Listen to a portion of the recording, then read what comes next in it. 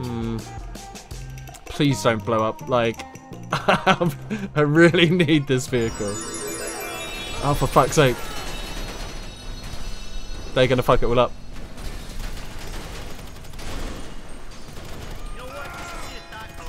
Well, uh, you look very happy. Do you feel better after five weeks of meditation? Yes, yes. What exactly have you been doing? How do you meditate? You sit down, you relax. God damn, this